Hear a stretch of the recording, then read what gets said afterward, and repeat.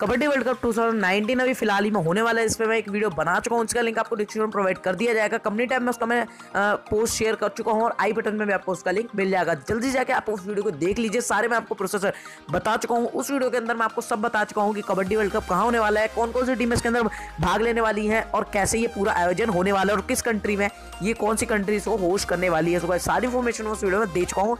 एक दोनों मुझे बहुत अच्छा वीडियो में रिस्पॉन्स भी मिल चुका है।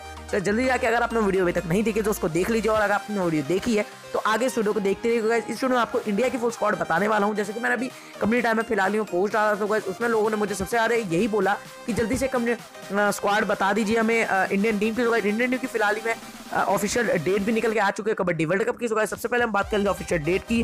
तो ऑफिशियल जो डेट होने वाले कबड्डी वर्ल्ड कप की, वो रहने वाली है दो अप्रैल से पंद्रह अप्रैल तक। उसके बाद जो इंडियन टीम की स्क्वाड निकल के है, उसमें स्टार्टिंग के पाँच रेडर्स हैं। पवन कुमार, श्रावत सिद्धार्थ सिरिस देसाई, प्रदीप नरवाल, इसी के साथ राहुल चौधरी और सबसे लास्ट में अजय ठाकुर जो कि टीम के कप्तान हैं, वो बहुत ही अच्छे फ़िलहाल ही में कप्तानी कर रहे हैं। अभी फ़िलहाल ही में जब कबड्डी मास्टर्स दुबई गए थे, वहाँ पे भी उन्होंने बहुत ही अच्छा प्रदर्शन करा था इसके अलावा मैं आपको बता दूँ, राहुल चौधरी और प्रदीप नाल पहले ही इंटरनेशनल मैचेस खेल चुके हैं बट सिद्धार्थ सिरिस देसाई और पवन कुमार शेरावत का ये पहला इंटरनेशनल वर्ल्ड कप होने वाला है मतलब इंटरनेशनल मैच होने वाला है, और वो भी वर्ल्ड कप के अंदर इससे अच्छी अपॉर्चुनिटी किसी और प्लेयर को मिल नहीं सकती होगा। इस सीज़न में दोनों ही प्लेयर की बेस्ट परफॉर्मेंस गई थी, और Pawan Kumar Sehrawat number one raider थे, उसके सेकंड नंबर पर प्रदीप नरवाल थे, और थर्ड नंबर पे थे सिद्धार्थ सिरिस देसाई। तो तीनों ही रेडर्स की बेस्ट परफॉर्मेंस गई थी तो जिससे तीनों रेडर्स को जगह मिली है। चौथे राहुल चौधरी को इसलिए जगह दी गई है क्योंकि इंटरनेशनल मैच में उनका प्रदर्शन अच्छा रहता है।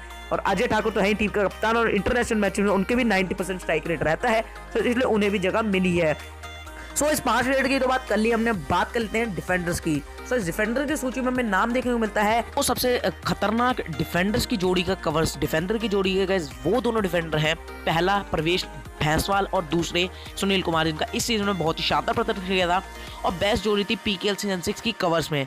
सर ये दोनों जो है कवर्स वो दोनों रहने वाले राइट और लेफ़्ट कवर कॉम्बिनेशन और बहुत ही शानदार कॉम्बिनेशन रहने वाले उसके बाद हम बात कर लेते हैं राइट और लेफ़्ट कॉर्नर्स की। यहाँ पे हम बात कर लेते हैं सबसे पहले राइट कॉर्नर के राइट कॉर्नर की पोजिशन में खेलने वाले हैं, हमारे सबके चाहिए इस सीज़न के टॉप डिफेंडर नितेश कुमार जी। हाँ नितेश कुमार की जगह इस टीम में पक्की होगा इस नितेश कुमार का भी ये पहला इंटरनेशनल जो मैच है वो होने वाला है कबड्डी वर्ल्ड कप के अंदर। उसके बाद हम बात कर लें लेफ़्ट कॉर्नर के लेफ़्ट कॉर्नर के पोजीशन में बहुत ही अनुभवी डिफेंडर्स का नाम देखने को मिलता है। पहले हैं विशाल भारद्वाज जो कि तेलुगु टाइटंस का कप्तान है इस सीज़न में बहुत ही शानदार उन्होंने प्रश्न दिखाया और दूसरे नंबर पर हमें देखते हैं सुरेंद्र नाड़ा जी। हाँ इंजरी से जूझ रहे सुरेंद्र नाड़ा इस सीज़न में प्रो कबड्डी नहीं खेल पाए थे बट इंटरनेशनल मैचेस में उनका प्रश्न बहुत ही ज़्यादा अच्छा है।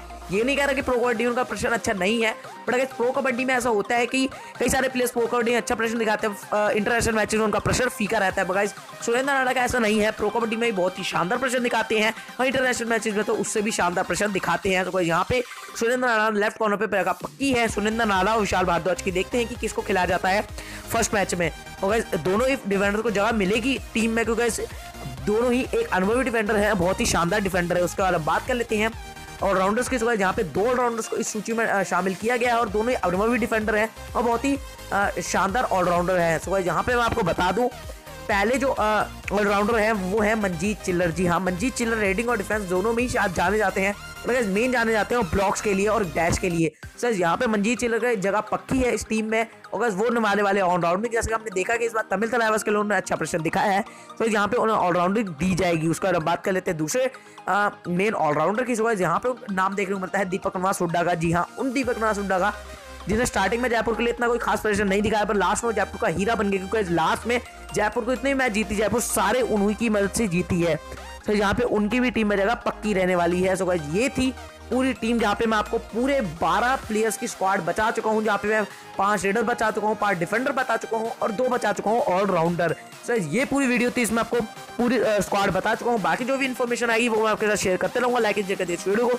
सब्सक्राइब करना हमारे यूट्यूब चैनल को और पहली वीडियो ना देखना भूले। अगर आपने पहली वीडियो अभी तक नहीं देखी तो link the description i button में जाके आपने देखी ली होगी। मैं मिलता हूँ जय हिंद, वंदे मातरम।